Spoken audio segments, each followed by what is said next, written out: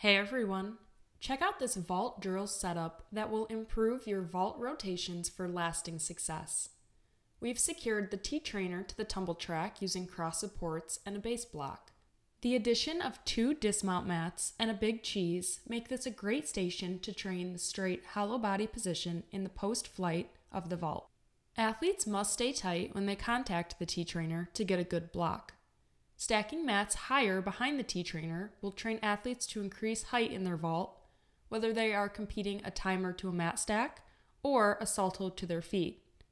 Remove the mat stack and have athletes safely flip their vaults off the T-trainer. The forgiving surfaces of the Tumbl Trak and the T-trainer beds allow for athletes to perform more reps without as much strain on their bodies, keeping them safer and feeling more confident.